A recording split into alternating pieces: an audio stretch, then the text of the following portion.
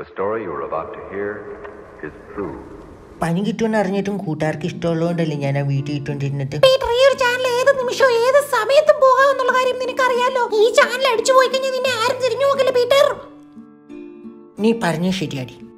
എന്റെ ഡബിനെയും എന്റെ വീഡിയോനെ സ്നേഹിക്കുന്നവരെയും കണ്ടപ്പോഴത്തേക്ക് എനിക്ക് പിന്നെ ഒന്നും നോക്കേണ്ടി വന്നില്ല. എന്റെ ഡബിനെ സ്നേഹിക്കുന്ന ഒരുപാട് പേരുണ്ട് ഇവിടെ. എനിക്ക് അറ്റുമാറ്റി പീറ്റർ ഇത് പറഞ്ഞത് പീറ്ററിന്റെ മനസ്സിൽ തട്ടിയാണ്.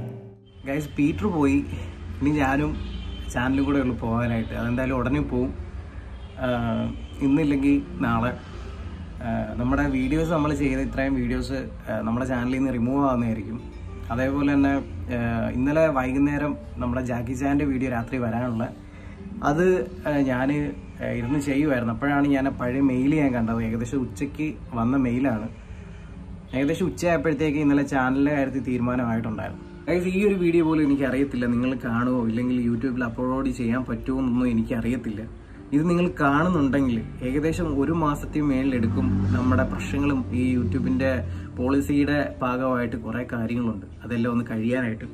അപ്പം ഇതിൽ ഏത് കണ്ടന്റ് വേണമെന്നുള്ളത് നിങ്ങൾക്ക് തീരുമാനിക്കാം. നിങ്ങളുടെ ഇഷ്ടം താഴെ എന്ന് പറയാം. അതുകൊണ്ടാണ് ഈ ചാനൽ ഇങ്ങനെ സംഭവിച്ചതെന്നുള്ളത് ഞാൻ എന്റെ സെക്കൻഡ് ബാക്കപ്പ് ചാനലിനകത്ത് ഞാൻ അപ്ലോഡ് ചെയ്തിട്ടുണ്ട്. നിങ്ങൾ ഇതിനകത്ത് കയറി കഴിഞ്ഞ് കഴിഞ്ഞാൽ കാണാം. നിങ്ങളെ എല്ലാവരും എനിക്ക് വിട്ട് കളയാൻ പറ്റത്തില്ല. കാരണം നിങ്ങൾ അത്രത്തോളം സപ്പോർട്ട് ചെയ്യുന്ന ആൾക്കാരാണ്. എല്ലാവരും നിങ്ങൾ ഇത് കയറി കാണുക. അതേപോലെ തന്നെ നിങ്ങളുടെ സപ്പോർട്ട് ഇനിയും ഞാൻ പ്രതീക്ഷിക്കുകയാണ്.